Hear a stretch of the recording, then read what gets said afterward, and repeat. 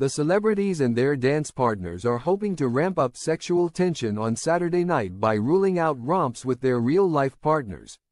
Strictly Come Dancing stars have put themselves on sex bans as the BBC competition heats up.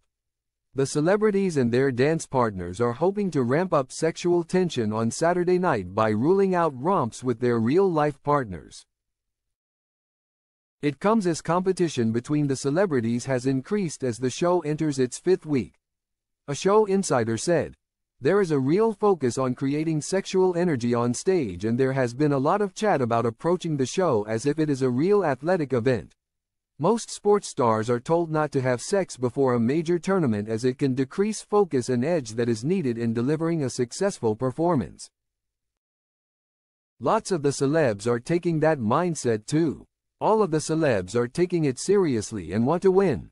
This year's cast includes Tasha Ghouri, the girlfriend of Love Island co-star Andrew LePage, Sam Quek, whose husband is property entrepreneur Thomas Mairs, JLS singer J.B. Gill, married to backing dancer Chloe Tangney, and Shayne Ward, engaged to former Hollyoaks actress Sophie Austin since 2017. One celeb who hasn't imposed bans on himself is EastEnders star Jamie Borthwick. He previously said, No booze ban for me. I've never drunk ever in my life and no one loves me, so I can't do a sex ban. No bans for me. Just loads of food.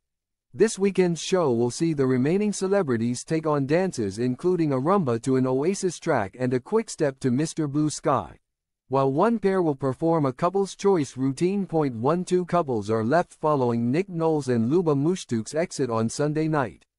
They were the third pair to be eliminated from the competition.